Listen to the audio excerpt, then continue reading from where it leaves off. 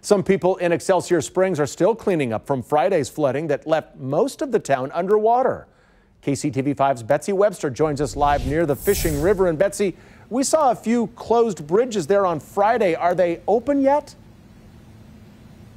Well, this one I'm standing at over the Fishing River is still closed. You can see some of the barriers behind me on one side, and then in front of me here, you can see these concrete barriers that have been set up. That is even though the water level has receded. And you know, this is a town where flooding is, well, it's prone to flooding. But this time, for some of the homeowners, it was kind of a one two punch.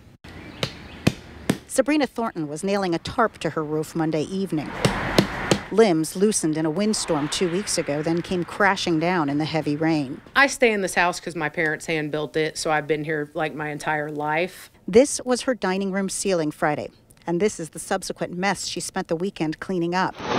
On Friday, she watched as cars by the historic Elms Hotel came close to washing away. She remembers what's known as the Great Flood of 1993 Quoting a FEMA report, residents were evacuated, streets were closed, homes were destroyed, cars, furniture, appliances, all were swept away. Every public building was flooded. FEMA funds helped the city buy 61 homes to raise them and turn them into green space. Thornton said then the water rose to the first step of her house. This time it rose two steps higher, coming through her garage door into the basement. I haven't had any water like this since the flood of 93 and it came right up to the wall. It didn't actually enter the basement.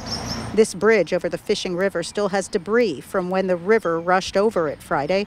The luxury Elms Hotel, a big draw for the city, is on the other side of the river. The flood damaged their spa and lap pool on the lower level, according to the reception desk manager. The water went down quickly. But Thornton knows it's bound to happen again. I love Excelsior, but I would also recommend not living so close to the fishing river downtown. Maybe stay away uptown a little bit. It's got nice trees, nice scenery, but definitely not worth having your house flooded.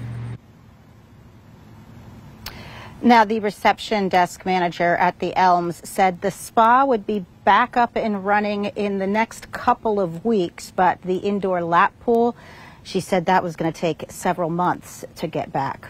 Reporting live in Excelsior Springs, Missouri, Betsy Webster, KCTV 5 News. Yeah, lots of cleanup work there. Thank you, Betsy.